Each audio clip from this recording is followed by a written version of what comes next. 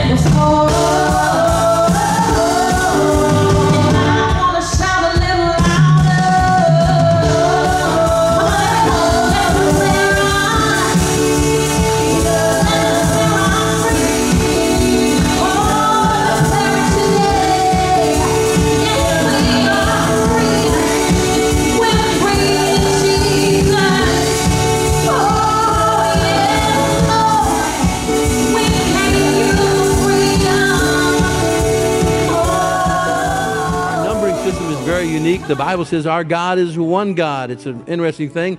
Uh, every number in our numbering system is, is special. The number one is so unique. What comes before one? Nothing. We use the word zero. In the Bible, it actually says nothing. What comes before one? Nothing. What comes after one? Everything. And the Bible says God is one, okay? In other words, before God, nothing. With God, everything. Amen. And, and he can't be divided and he can't be multiplied by anything but himself. Amen. To get that whole number, he, he's God all by himself. Amen. Our God is one God. And we have 10 digits in our numbering system. And with those 10 digits, you can create any number. You can count to 100, 1,000, a million, a billion, a trillion, if you have the time. Amen. But the, the, the, it's, it's limitless when you have all 10 digits. You can do anything. But if you take one out, then you, then you limit yourself. See, when God says, bring the tithe, which means a tenth, when He says, bring a, the tithe into the storehouse, what He's saying is, bring a representation of all you have. Bring one tenth of your increase or one tenth of your income. The tithe is like a seed. You know, uh, if you wanted to, you could take a handful of seeds, you know, and, and put them in your pocket, and those seeds could become an orchard of trees, fruit trees, apple trees, peach trees, whatever, which could become a, an apple company, you know, apple sauce and apple pies and what have you. The, the, the potential is limitless. But if you just take a part of a seed, a half a seed, a third of a seed, it won't do anything. And that's why God says, bring the whole tithe into the storehouse. When, when Noah was putting animals on the ark, God didn't say, look, Noah, bring a herd of elephants and bring a herd of giraffes. No, he said, just bring two, one male, one female because that's the seed, see? That represents everything. With one male and one female, you can have a herd of giraffes. Hello. You can have an earth filled with them. But you got to have the seed. If, if Noah would have said, well, you know, I'm just going to bring one elephant, then today we wouldn't have elephants. Amen. If he'd have said, you know, I don't want to bring two giraffes, I just bring one, then today we wouldn't have giraffes. And sometimes people say, well, you know, I don't want to pay my entire tithe. I just want to bring part of it. You know, the pastor might appreciate that, but, but God can't bless that. That's why God says, bring the, the whole tithe into the storehouse. Because that's the seed, and, and the seed will, will multiply. Amen. If you've ever eaten an apple, you know, you can count the number of seeds in an apple, but you can't count the number of apples in a seed. And if you've ever eaten an apple and you bit into the seed, it was bitter because God didn't intend for you to eat that seed. That seed was meant to be planted. See, one tenth of your increase, one tenth of your income is your tithe. It's the seed, and that's meant to be planted. So this morning, as the ushers come, and we prepare to receive this morning's tithes and offering, I want to encourage you to plant a seed. Amen. Pay your tithe, give of your offering. The Bible says this it says, give. Everybody say that, say give. Say it again, say it loud, say give. That's a four letter word that's okay to use. Amen. God, and it wasn't a suggestion, it was a commandment. God said, Give, and it shall be given unto you. Good measure, pressed down, shaken together, and running over uh, for the, with the same measure that you mete. Or in other words, how you give is how you're going to receive. And when you plant a seed, you always get back what you planted. You always get back more than you planted, and you always get back after you plant. You have to sow first. Before you can make a withdrawal from your bank, you have to make a deposit. Hello. If you, if you try to make a withdrawal without making a deposit, that's called bank robbery. Hello. But if you but you can make a deposit and then later make a withdrawal and withdraw more than you deposited because they'll pay you interest. Amen. It's just a principle. And that's what God said. He said, Bring the tithe into the storehouse, and I'm going to multiply it. Amen. And I'm going to return unto you more. Amen. So let's pray this morning. Let's ask the Lord to direct us in our giving. And whatever the Lord lays on your heart to do, be faithful to do that. Pay your tithe, give of your offering. Let's pray. Heavenly Father, we thank you for your word this morning. Lord, I pray you'll speak to every person here and those watching. And show us what you want us to do. Show us the financial gift you'd like for us to give. And Father, help us to be faithful to do that. Multiply the gift back to the giver, answer every prayer, heal every hurt, supply every need. In Jesus' holy name we pray. And everyone said, Amen. Amen. Now prepare your offering. Now, if you want to give by, by simply texting, you can text the number there. It's on your screen 940 241 4450. You can text any amount to that number. Or, of course, if you're writing a check, just write it out to CLC. You can also give with your check card, your debit card. Uh, you know, with your smartphone, you can go to our website, clc-church.com, and there's a uh, menu bar. The Give button is there. You can click on the Give button and give through PayPal that way. You can mail your offering in. A lot of the folks that are uh, that still haven't returned to church, they're concerned about this virus, you know, and I understand. I don't want anyone to get sick. Amen. Uh, but those that are staying home, some of them are mailing their offering, and you can do that as well. Our mailing address is 806 Russell Palmer Road, Kingwood, Texas and the zip is 77339. Ushers, if you would, you can go ahead and receive this morning's tithes and offering. I'm going to share a message with you this morning that I've entitled, God Won't Bless Your Selfie. I know it's a crazy title. I'll explain it in a few minutes. But the title of the message is God Won't Bless Your Selfie. We're in a selfie generation. I'm going to be reading from Genesis chapter 32 and verse 21. Last week I talked to you about Esau and Jacob, and I'm going to continue to talk about them a little bit. This is Jacob coming back to meet Esau, and it says, So went the present over before him, and himself lodged that night in the company. And he rose up that night, and he took his two wives and his two women servants and his eleven sons, and he passed over the ford Jabbok. And he took them, and he sent them over the brook, and he sent over what he had. And Jacob was left alone, and there wrestled a man with him until the breaking of day. Let's pray. Heavenly Father, we thank you for your word. Lord, I pray you'll open our spiritual eyes and ears. Let us receive uh, from heaven. Hide your word in our heart that will not sin against you, Lord. In Jesus' holy name we pray. And everyone said, Amen. You can be seated. Last Sunday, I shared a message with you that I entitled, What About Me? It was a message about Jacob and Esau. And, uh, you know, Esau hated his brother Jacob because Jacob had uh, stolen some things from Esau. Jacob's name meant heel grabber or supplanter. In a practical sense, it meant somebody who uh, was a, a, trickster. He'd trip you up. He would, uh, he would cheat you, and that's kind of how Jacob was. And, and he had uh, so, uh, had Esau sell him his birthright for a bowl of Wolf Brand chili or something like that, some red pottage. And uh, later he, he pretended he was Esau and he fooled his blind father into blessing him as the eldest instead of the, the actual eldest, which was Esau. And Esau hated his, his brother. He said, I'm going to kill Jacob because it's his fault that I don't have the blessing. It's his fault that this was stolen from me. It's his fault that I'm not going to have the advantage. It's his fault and it's his fault. And the only problem with that is that it wasn't true. You know, as human beings, we like to fix the blame and not the problem. But in order to fix a problem, we have to speak the truth. Jesus said, You shall know the truth, and the truth will make you free. We often say, Oh, they make me so mad. They push my buttons. They did me wrong. They, they, they. And if it's them controlling you, then there's nothing you can do about it. But if you have what you have because of your choices and your decisions, see, if it's your problem, then it can be your promise. If it's your failure, then it can be your fix. But if everybody else is pulling the strings and controlling who you are, they make me so mad, they can't make you mad. Only you can make you mad. They nailed Jesus to a cross, plucked the, the beard out of his face, put a crown of thorns on his head, beat him over the head with a, a rod while that crown was on his head, spit in his face, and Jesus said, Father, forgive them. Whew. If they couldn't make him mad, then they can't make you angry They can't make you happy. They can't make you sad. You are in control of yourself. And, and until you get that, see, Esau kept blaming everything on his brother, and, and his father gave him some advice and said, Look, when you finally get the dominion, when you finally take credit for your own actions, then you'll break that yoke of your brother from off your neck. Esau had to stop blaming everyone else for his problems. After all, he sold the pottage to his brother. He sold his birthright, rather, for that bowl of pottage. Esau wanted to kill Jacob. Before his father Isaac died, he had made a vow. Jacob fooled his blind father and, and stole the, the blessing. And Esau said, I'm going to kill him. But he took his father's advice and he grew up. Amen.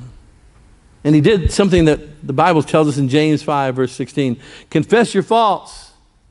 And we could stop right there, it has more, but that's a big statement right there. Confess your faults. Anybody know what a fault is? If you lived in California, you heard about them often. They have what they call fault lines. It's the tectonic plates beneath the surface of the earth. And, and when they're broken, they shift. And a fault is a broken place in the rock that's under the surface. You can't see it on the surface, but when they shift, boy, you can sure see the damage that they do. When they have an earthquake. And the Bible says, confess your faults. See, we have, all of us have faults. We all have issues. We all have broken places beneath the surface. And the other people can't see them. But we've got them. And we don't like to confess them. We like to say, well, you know, she made me so angry. That's why I did it. My wife's a great cook. That's why I'm overweight. And you know she's not stuffing that stuff down your throat, you, you have the ability to pick up the fork or put it down. Hello. At least take the racing stripe off the fork. Amen. We, we like to blame other people for our problems. You've heard me say it many times. The lady said, uh, uh, The reason I'm obese is because obesity runs in my family. And he said, No, you're obese because nobody runs in your family. Hello. You need to take credit for your own issues. You need to take credit. Confess your fault. It's my fault. You know, we, we need to be sincere with God. Jesus said, You shall know the truth, and the truth will make you free. But we got to speak the truth. So often we, we speak a lie. Well, they pushed my buttons. You don't have any buttons. You're not a machine. They don't have control over your life. You decided to get upset. When that person cut you off, you didn't have to wave at him with one finger. You could have just kept driving, you know. It's, you were in total control. You have to be able to say, it's my fault. It's, it's, it's my problem. Because if it's your problem, then it can be your victory. Amen. It says, confess your faults. Be sincere. Somebody say sincere. We studied this word Wednesday night.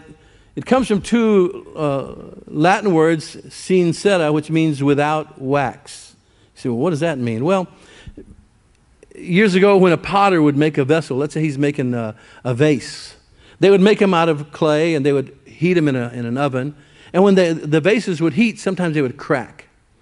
And of course, the potter knew he couldn't get a lot of money for a cracked vessel. So what he'd do is he'd put wax in the cracks, make it look real smooth, make it look good. And then he'd paint over it so you couldn't see the cracks. And then he'd sell the vessels. But once in a while, when the customers would come in, they'd see all these you know, vases that looked the same, but one of them would be more expensive.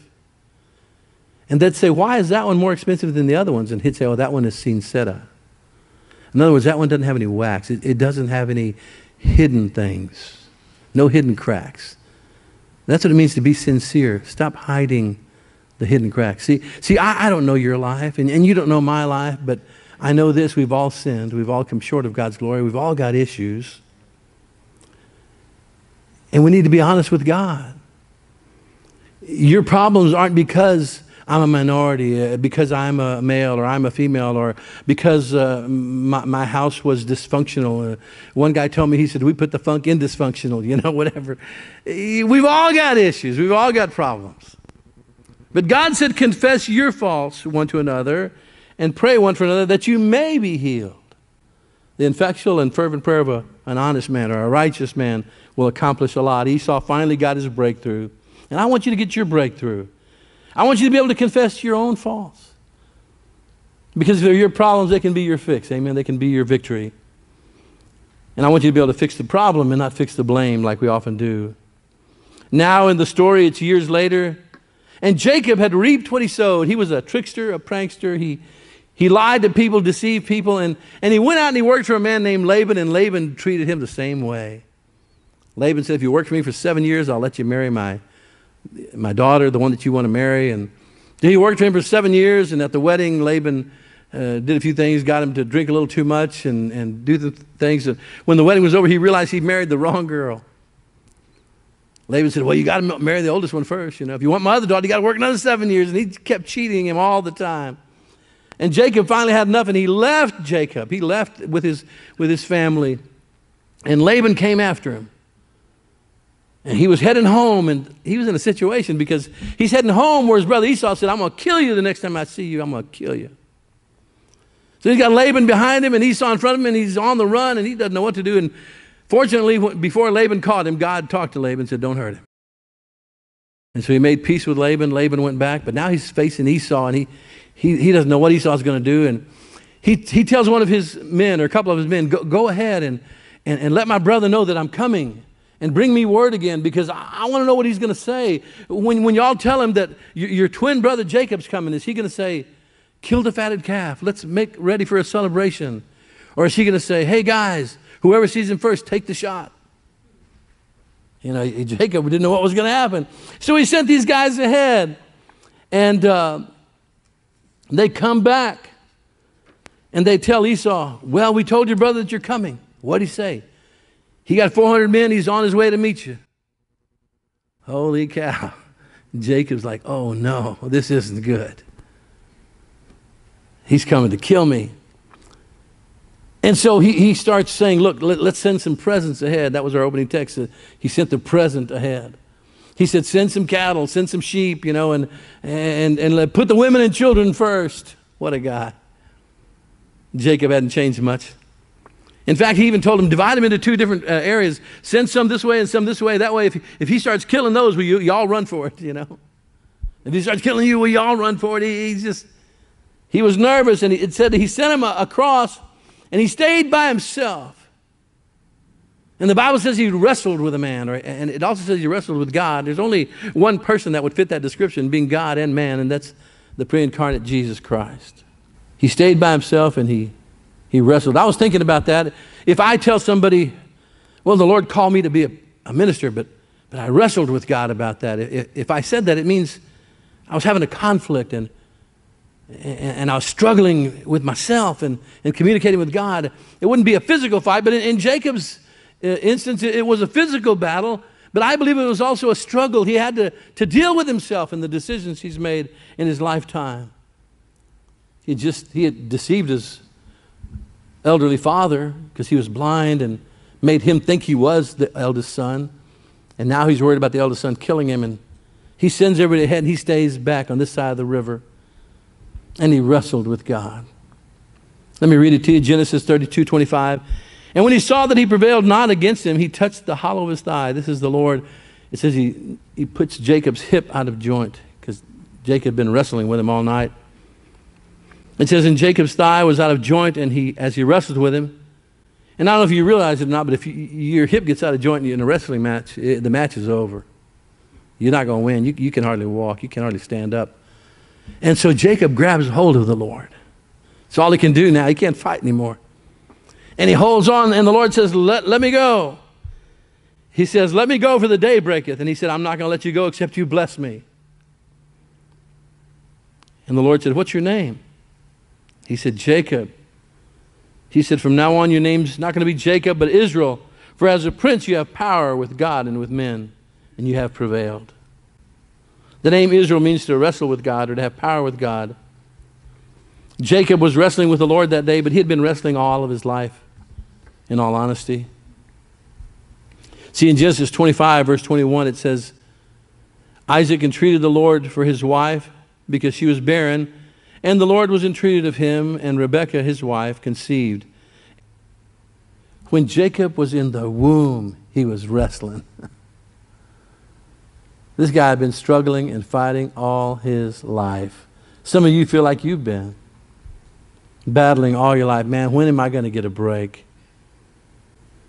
And she said, If it be so, Why am I thus? And, and she went to inquire of the Lord, and the Lord said unto her, Two nations are in thy womb. Let me read that again. Two nations are in thy womb. I want you to repeat that with me. Say this. Say, Two nations are in your womb. He said, Two nations are in your womb, and two manner of people shall be separated from thy bowels, and the one people shall be stronger than the other, and the elder shall serve the younger. God knew what was going to happen before they were born. I had you repeat that two nations in the womb because I had somebody call me this morning. Actually, they text me. And they said, I want to ask you a question. They said, How come uh, so many people in Texas think Donald Trump's a godly person? Do they think when Jesus returns, he's going to be a Republican? and I responded, I said, Well, I said, I believe that when Jesus returns, he's not going to return to take sides, he's going to return to take over. And I said, I think the reason maybe some Christians like the one candidate over the other, I said, has to do with the uh, issue of abortion. I said, see, the Bible says God hates the shedding of innocent blood. And there's no one more innocent than the unborn child. I said, there's other issues, I'm sure, but that's one of the big ones. He didn't respond to that part. And I was thinking about this those unborn children, God said there's two nations in your womb. Not just two people, two nations, two people, two cultures, two. Sometimes we're, as people on the earth, we say, well, God, why do you let these diseases happen? And why do you let this these horrible things take place. And you know, the thing is, the cure to this disease might have been here a long time ago, but maybe we aborted the child that was going to come up with it. I mean, if one child can represent an entire nation, don't you think there can be doctors and scientists and lawyers and teachers and what are we losing when we abort one child? It's a big deal. I just wanted to throw that in there. It's not part of the message, but but before this child was born, he was wrestling with God. He wrestled with a man physically. And I think he was wrestling with himself as well. Wrestling with being obedient to God, with his direction. And I thought about this wrestling match that Jacob had. I wondered what brought it on. He just ran from Laban, narrowly escaped. Now he's headed home where he believes his brother's going to kill him. And I believe he said, You know, I need to pray. And there was a lifetime of issues that he had to deal with. He wasn't happy with who he was. He wanted what others had. He pretended he was somebody else to get what he had. A lot of people do that today. They wrestle with who they are, with their identity. Sometimes they're trying to be someone that they're not. It's so funny. That's why I call this message God Won't Bless Your Selfie because we're in a generation where People like to take pictures of themselves and put it online. And uh, a while back, I was in my living room and the family was there. And I took a picture of one of my daughters. And, and, and right away, as soon as I took the picture, they said, Dad, don't post that picture. I said, Too late, I'm going to post it. They're like, no, no, let me look at it first. And they looked at that. They said, Dad, that's horrible. That doesn't even look like me. I said, How can it not look like you? It's you, you know. She, she said, Give me that, give me that phone. And she got it. She said, I need to she said, Look, Dad, when you take a picture, you got to take it from the right side. And you got to take it from up high. Don't, don't. I've, I've learned that. I've seen, I noticed people do that on Facebook. They, they take pictures from up high. I mean, some of them look like they had a drone take the picture. They're smiling. look at it. It looked like uh, somebody from an airplane shot the photo. they said, makes them look like they're in better shape. Well, yeah, from up there, you look like an ant, you know. You don't post that picture. Let me get that picture. I need to put a few highlights here. And I, I want to add this effect to it, you know. Effect, yeah, there's effects on the phone. You can change it. And you know, if I stretch it out a little bit, I look a little bit thinner. And uh, you know, I think I'll change my eye colors. Now that looks like me. I'm like, that does not look like you. that looks like one of the Kardashians. They, they, they, don't look like my kids. I said, the one I took, that looked like you, you know. See, people want to be someone that they're not. And see, God can't bless your selfie. God says you'll know the truth. The truth will make you free. God wants to bless who you are, who He created you to be, not who you pretend to be. You see people at these riots breaking into these high ticket stores, Gucci, Versace, you know. Why? I mean, what are you going to do? You steal a $3,000 dress, wear it while you're driving your car with the window down because your air conditioner's not working? People are going to think I'm rich. Yeah, you're going to fool everybody. Whew, man. You got a $900 Versace belt on and shoes from Walmart. Ooh, I'm, I'm looking good. Come on. Just be who you are. You know, why try to be somebody you're not? You are the best you you can be, so why don't you just be you and quit trying to be like everybody else? Amen. God can't bless you, selfie. People add filters and all kinds of things, trying to look like somebody they're not. But God wants to bless who you are, who you were created to be, not who you pretend to be. See, Jacob had been wrestling with identity since before he was born. Esau was the firstborn. Esau was the one that's supposed to get the, the double portion, which goes to the firstborn. But, but Jacob fooled his blind dad. He, he dressed like Esau. He, he talked like Esau. He smelled like Esau. Put his clothes on. And he was able to fool his blind dad and steal the, the blessing.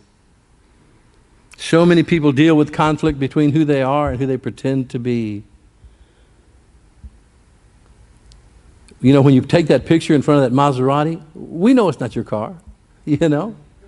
You, you know, you see everybody, they're, they're, they're there in front of that Bentley like this, you know. Take a picture, take a picture. It's like, hey, look, we know what a Bentley costs. And, and we know what kind of money you make because, you know, McDonald's doesn't pay that much. Hello. I mean, really, who are we kidding, you know? But, but Jacob tried to pretend he was somebody else and he, he, he fooled his blind dad. But I want you to know something God's not blind. Hello. God's not blind, He knows who you are. And He created you for a purpose. And I want you to fulfill that purpose. See, James 5.16 says, confess your faults one to another and pray one for another that you may be healed. See, God says, I can heal you, but you got to be honest with yourself because it's the truth that makes you free. We have to be real with God because God knows who we are. Unlike Isaac, God's not blind. Hello? It was Jacob's mother, Rebecca, that came up with the idea for Jacob to deceive his dad. But one thing a lot of people don't realize is that uh, Jacob and Esau at this time were in their 70s. See, after a while, you got to take credit for your own actions. Hello. My mom told me, hey, buddy, you're 75. The other day, I, you know, I'm going to tell on her because she's not here today. I know she might watch this online, but too late. The other day we were at home and Lisa said, honey, you need to call Uh, Ashton. You need to call our daughter. I said, why? She wants to go to the other side of town and do this and that. And you know, we've got those hurricanes coming in the Gulf and, and, and you know, it's dangerous. And what if she gets a flat? I said, Lisa, I said, Ashton is a grown young lady. I said, we, we don't need to be telling her what to do. She goes, yeah, but it's dangerous. I said, look, Lisa, I know you want to be able to, you know, protect the kids and tell them what to do, but our kids are 40 now. Hello? I said, leave them alone. I said, you know, you and I were married and on our own, we were 20. You know, the, all of our kids are older than 20 now, you know. They don't need mom calling telling them what to do. I said, don't you, I said, you don't want them calling us saying, hey, look, you know, you guys are, you know, getting old. You can hardly get around. Y'all better stop shopping because, you know, you get a flat tire, you, you know. I said, you wouldn't want them calling us saying that, would you? She just turned the TV a little louder, didn't answer. Hey, you know. These boys were in their 70s. And sure, you know, his mother told him what, what she wanted him to do, but he could have made a choice on his own. Hello. See, after a while, we got to take credit for our own actions. God's not going to bless your selfie. He's not going to bless who you pretend to be, but He'll bless who you are if you'll be truthful with God. You know, I, I wondered why God asked him this question. See, because God knows who he is, Genesis 32, 26. And he said, Let me go, for the day breaketh. And he said, I will not let you go except you bless me. And the Lord said, What's your name? Why do you ask that question? What's your name? See, the last time you got a blessing, you pretended to be your brother Esau.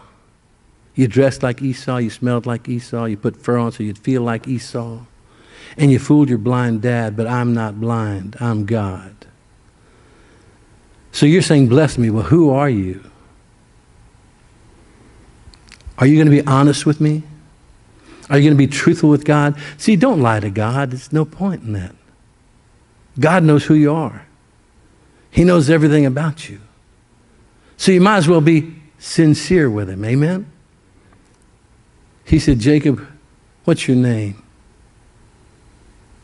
Because he wanted, I mean, he knew who Jacob was. He prophesied him before he was born, prophesied about him. But he wanted Jacob to come clean and be honest.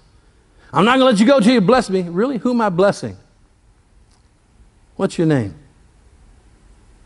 And I think it took Jacob by surprise a little bit. I think he finally let go of God and said, uh, I'm Jacob. I'm the one that lies to people. I'm the one that tricks people and, and uh, tries to steal their blessing and tries to get stuff that doesn't belong to me.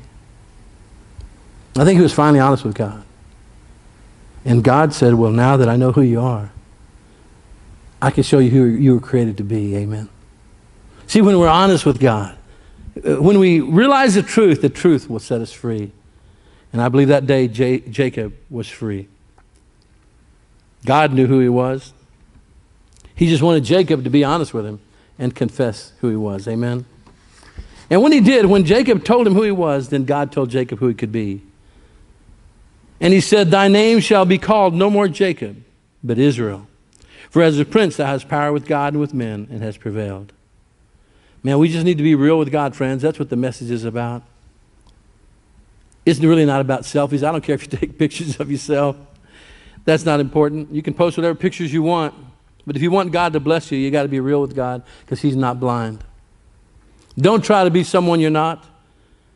Confess your faults one to another and pray one for another that you may be healed.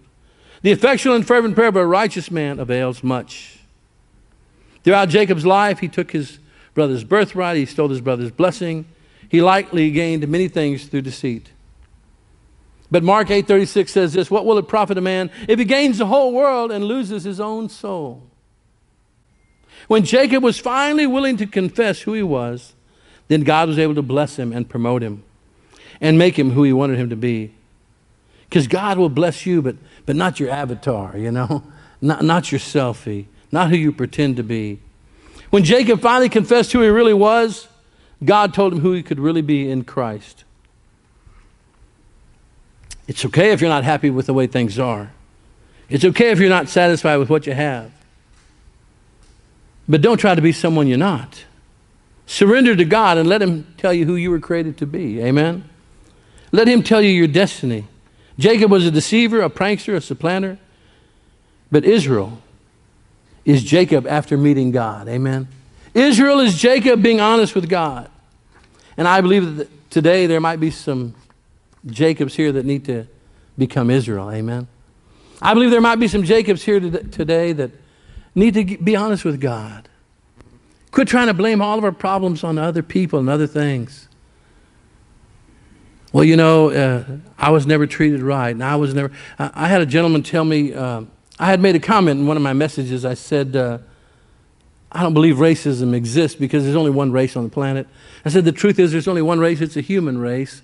I said, if you don't like somebody because of the color of the skin or the color of their eyes or the color of their hair, it's not racism, it's just stupidity. I said, we ought to just call it what it is. It's not racism. I said, if God's your father, I'm your brother, it doesn't matter what color you are. Besides, none of us chose the color of our skin. We were born with that. I said, and Jesus didn't shed his skin for us, he shed his blood for us. The snake sheds his skin. Think about that. Well, this man was offended by that, and he said, Well, you don't know what it's like being black. I said, You're right. I said, You don't know what it's like being a Mexican. I said, at the time I grew up, you know, you don't know what it's like being a little kid in school and people calling you spick, beaner, wetback, meskin, and taking out your lunch and everybody else has got sandwiches and what you got is in a tortilla.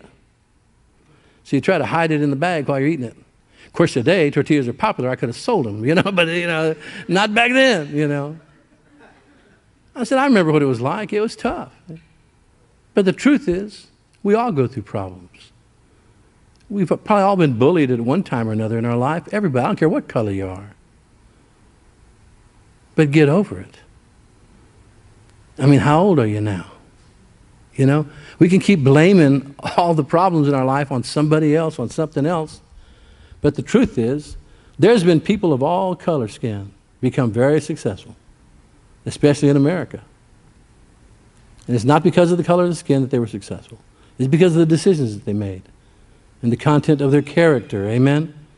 And so we need to be honest, not just with God, but with ourselves. Sure, we, we, we may have had disadvantages. I understand that. Maybe you come from a home where, you know, dad wasn't there or, or mom beat you or whatever, and, and I get it, and, and none of us maybe had the perfect life. But one thing we all have in common is we got 24 hours in a day, every one of us. The only difference is what you do with the time you have. Amen. And that's for me and my house, we're going to serve the Lord. Amen. Dad, don't post that picture. That doesn't even look like me. Honey, it's you, baby. Now, it may not be what you want to look like, but trust me, that's what the picture was. It was just an image of what it saw. The camera doesn't lie. Amen. Now, we do, but the camera doesn't.